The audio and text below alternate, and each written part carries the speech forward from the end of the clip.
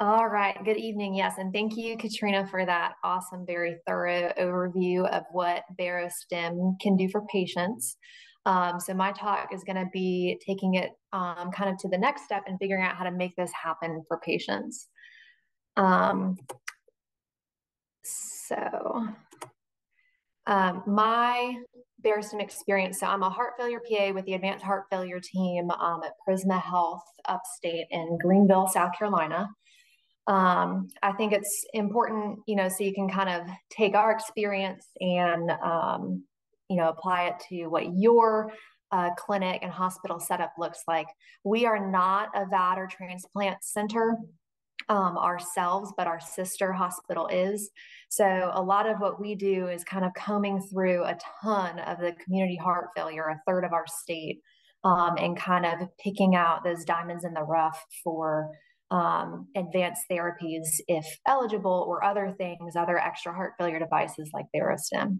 Um, so I was our self-declared Barostim clinic coordinator. We started implanting just about a year ago now. Um, and we ramped it up kind of pretty quick. We got up to about 20 implants in the first six months and are still going strong.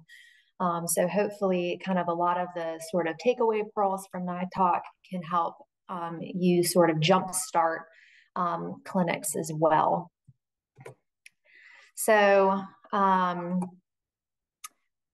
a lot of what I um, tried to work on in the beginning was just sort of retraining all of our providers' brains on how to incorporate this new incredible heart failure device into our normal workflow for patients. Um, so, playing off of a lot of what Katrina talked about earlier with ideal patient selection um, and how to get there.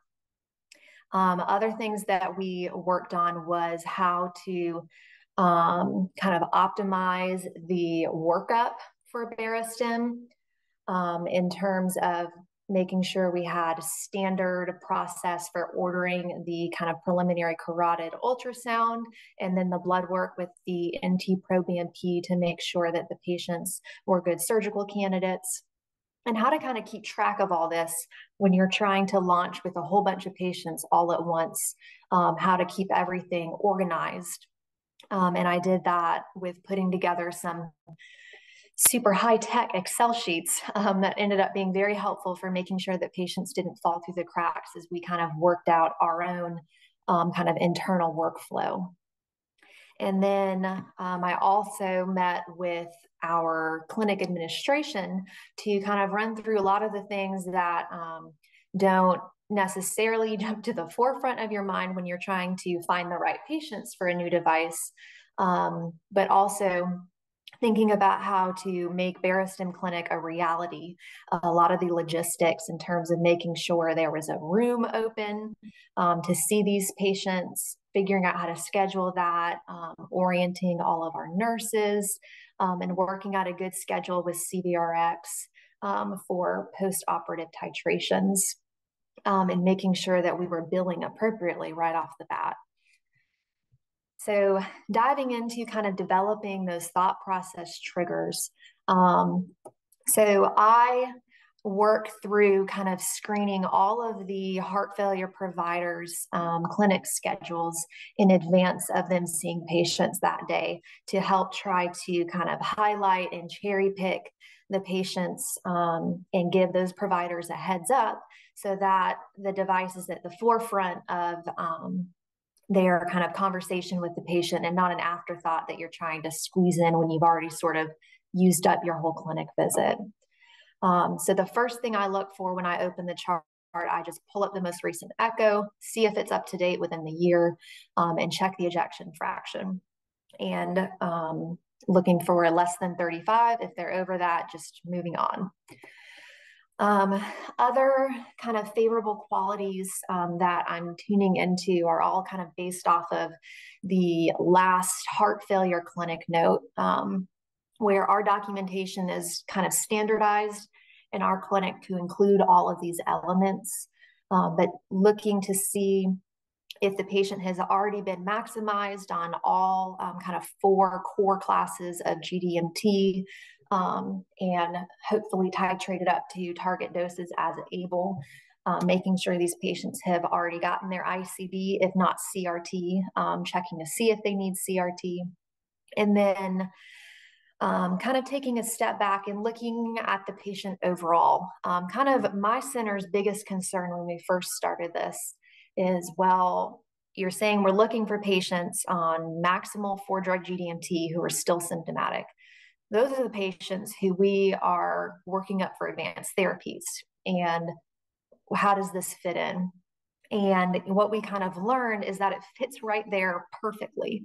Um, you know, those patients, the, these young patients um, who don't have a lot of other comorbidities and generally look like they fit the bill for transplant or LVAD, um, we are still going forward. We're getting the CPETs, we're getting the right heart caths, we're kind of taking all of that objective data together and deciding is this patient sick enough um, for LVAD or transplant, or are they too sick? Or have we kind of hit that sweet spot, that window of opportunity where we have tried everything in kind of our conventional arsenal? Um, and now we're looking for something a little extra to help kind of continue to temporize these patients as early as possible in their heart failure course.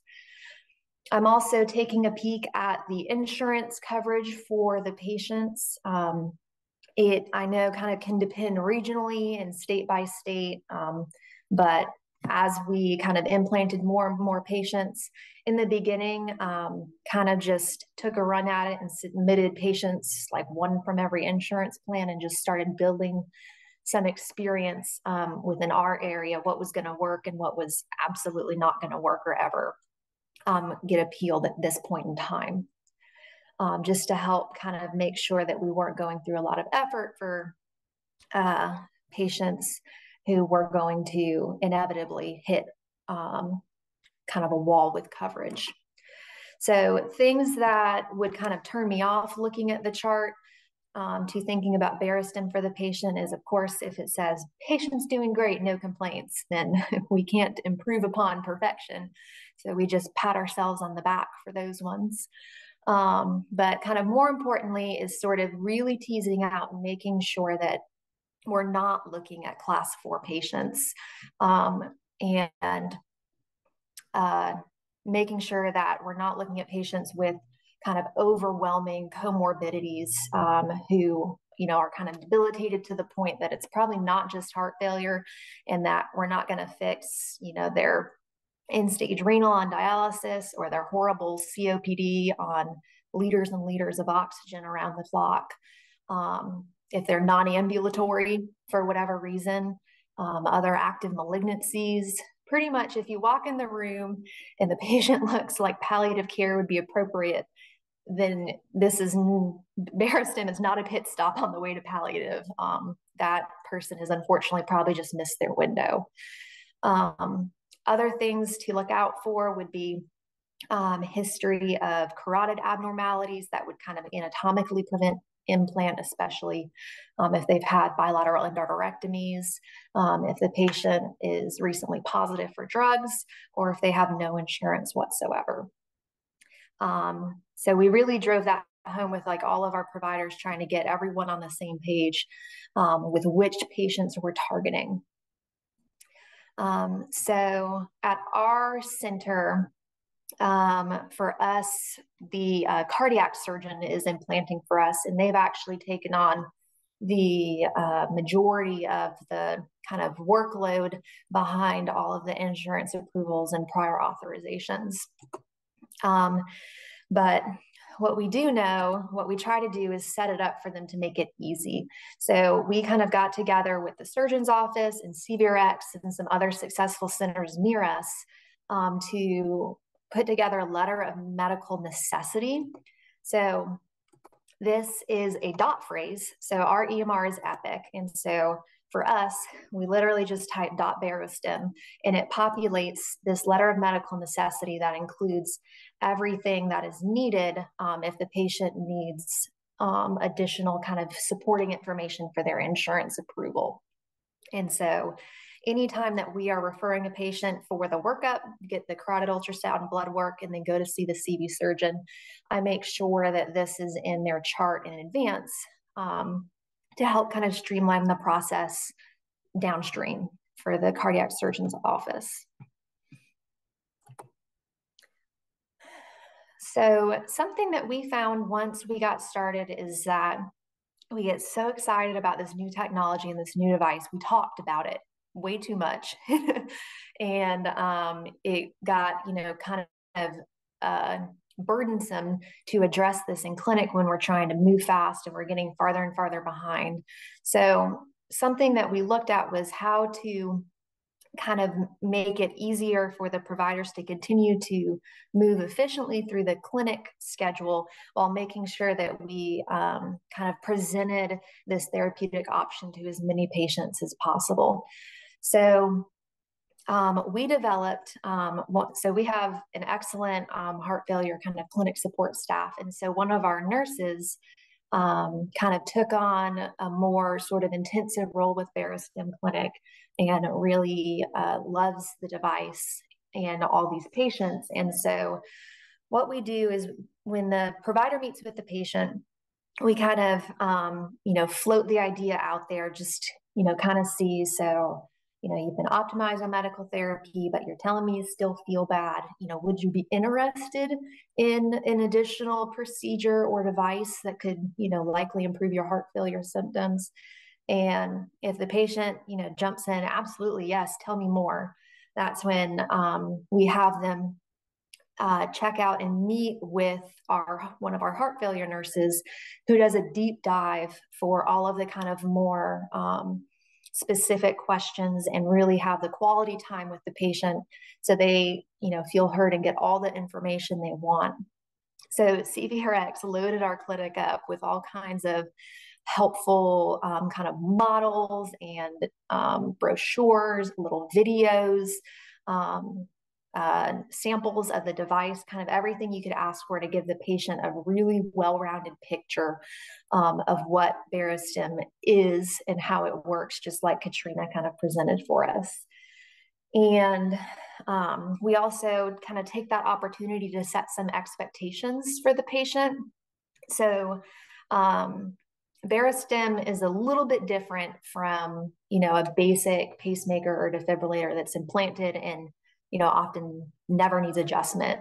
So after a Barostim implant, it does require a titration. Um, and so we wanted to be upfront with our patients and make sure that they were, um, you know, kind of prepared and committed and excited to come see us a little bit more frequently um, to get a comprehensive titration um, and then another one of the resources um, that CVRX gave us was this concierge service. And so every patient who we've talked to about Barostim and has been through an education session, um, we hand them these cards, like you can see here, to um, kind of get registered and connect directly with CVRX um, to help kind of field any additional um, questions that the patient may have while they're sort of making their decision. Okay, so this was my kind of first tracker that I put together to help process the patients as they're moving through the workup um, and getting closer to implant.